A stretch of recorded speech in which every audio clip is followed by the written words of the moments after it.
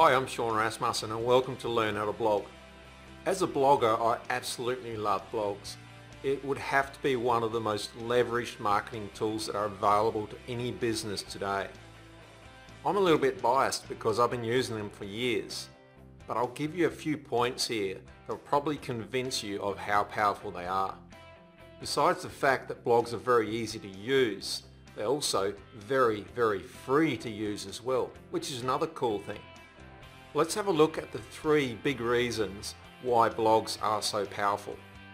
Content marketing. It is absolutely crucial for online business. Allows you to deliver relevant content and bring in potential customers through your blog. We know that, most of us know that, but how many people are actually doing it properly? Delivering content is simple. You simply stick to a topic that you love. You talk about it, you write about it, you publish it on your blog, and over time you bring more and more people to your blog. Eventually, you're going to make sales. Then there's permission marketing. This is a way to generate leads and sales on your blog, and it's the ethical way of doing it. Because rather than interrupting people by slamming ads in front of their face like on TV or radio where people don't actually choose to watch or hear those ads, with a blog you can be more passive about it, let people come to your sales pitches when you're ready. Then there's social signals. Now these social signals, that's when people are interacting on Facebook or Pinterest or Google Plus or somewhere and they're literally sending votes or links back to your site when you've got good content. More social signals mean more votes, more links and higher rankings on the search engines. I'm sure you'll agree that that's a good thing.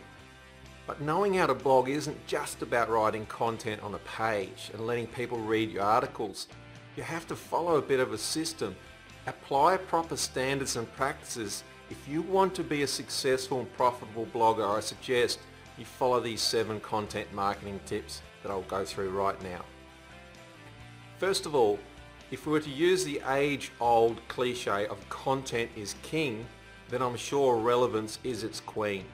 Because it's all well and fine to give lots and lots of content, but if you do not stay on topic and if you're not relevant, people will leave in droves, so get bored or confused. When you blog, stay on topic. Make sure you update your content. Once a week is good, but that might make your hobby style income. Once a day will make you a serious income. The choice is yours. How committed are you? If you're going to be consistent and persistent, the same thing will happen with your wallet. Money will consistently and persistently land in your wallet.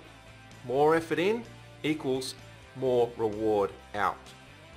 Now another thing is to make sure you research your content properly because one of the biggest reasons people read your articles on your blog is because you're helping them, you're saving them time. You do the research. You are their one-stop shop for content on their topic. Research it, that's the one reason why people are coming along. You are saving them time. What you're giving away on your blog, people can find elsewhere for free. They're already on your blog for free People can go to the library and they can learn anything in the world in a library. But the point is some things can take years of mistakes to locate so people want to come to an authority. They prefer to only go to one place if they can. So if you can be their one-stop shop, you could be the person they end up buying from. Other content on your site includes about us pages, terms of use, privacy policy pages, contact us pages and so on Make sure your blog has those pages of authority so that your site has that air of authenticity so that sites like Google will respect you but also people that come on your site will respect you too. Then point number two, products. What are you selling? Are you selling affiliate products? Do you have your own product? It doesn't matter what you're selling but whatever you do have for sale, make sure it's displayed somewhere where people can actually see them. Because as a content marketer, you're providing lots of content, but you want to make sure that people actually know you have something for sale. You don't have to be totally in their face. You don't have to be one of these, have I got a deal for you all the time. But make sure they can actually find your products, have a sales page somewhere, have a banner or, or something in your sidebar or have an opt-in form so people can join your mailing list. Let people have the opportunity to find your products or sell, else you will make no sales. And then point number three, communication. Your actual comments. Communicate with people. If you don't talk to people, can't hear you. It's amazing how many bloggers do not know how to blog and communicate past the blog post. I go on so many blogs where I read a good article but they got the comments turned off. Well this person obviously doesn't want to talk to me, let me go and spend my money elsewhere or spend my time elsewhere. That's how I think and I think that's how most people will think. Great, I've got a bit of content but I can't even repay them with a comment. That makes no sense. So to me, it's absolutely crucial that you accept comments on your blog.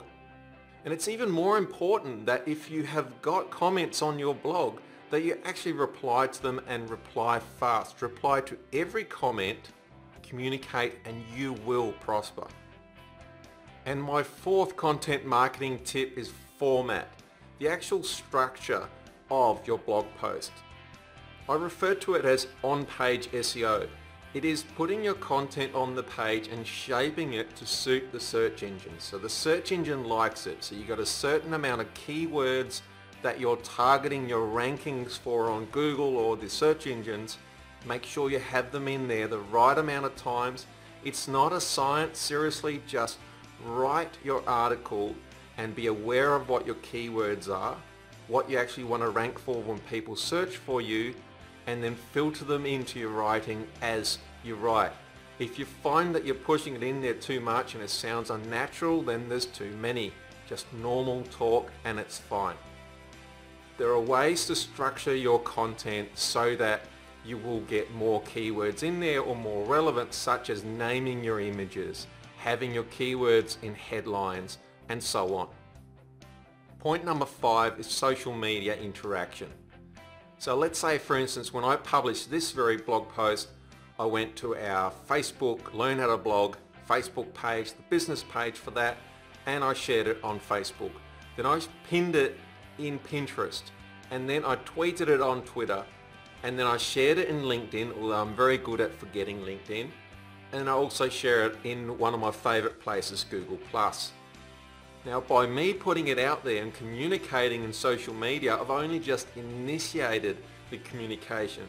But if anyone replies, anyone responds, I should be there and I should be responding to those people because if they just reply back and they hear nothing from me, well likelihood is that they may never notice me again. When you put your blog post on any of these mediums here, that is just the beginning. Don't treat it like the end. That's what most people do. They treat that like the end. I published my blog post, I got it onto social media, forget about it. No, no, no, that's where it starts. If you want word of mouth to get around, you want something to go viral one day, you got to actually do something to make that happen. It will not happen without you. Your energy into this will equal the results that come out. Personally, I don't think there's any better way to get traffic to your blog than leveraging social media to your advantage. And then point number six, emails. Reply to them. If someone contacts you through your contact us page on your blog, you should respond to them at, a, at the very latest, within 24 hours, but preferably that same day. Great, you might have a day job, well then check your emails at night. But get back to people, unless you're not concerned about making money, then it's not an issue but you might have a charity. That way, you're actually making money in a way because you're getting energy back. You're doing something good for someone. It still requires your effort. No charity actually works without someone enjoying what that charity is doing. They need to feel empathy or they need to feel something, but basically people want something from it. What's in it for me? When people donate to a charity, their payment is their gratitude or their feeling of being a contributor. People need to feel rewarded in some way, shape or form with whatever they do. But you need to put something in, you need to respond, you need to communicate with your emails, reply. And the one thing that will make you stand out from the rest, if you reply to your emails quick, you will actually be in that 1% that actually care you will then be a true content marketer.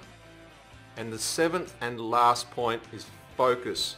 Focus and focus again. The key to be successful on your blog is to be persistent, consistent and true to yourself. If you stick to these seven content marketing tips and you follow these, you will find yourself with a very, very successful blog very, very soon. Please comment on this article so I know that you've been here. Say hello, give me some feedback, ask some questions, and any social signals you can give me, I am eternally grateful for. Facebook, Twitter, Google+, Pinterest, whatever blows your hair back. If you're watching this on YouTube, then please comment below the video. Thank you very much for watching today. I'm Sean Rasmussen from Learn How to Blog. Live life, have fun, and enjoy.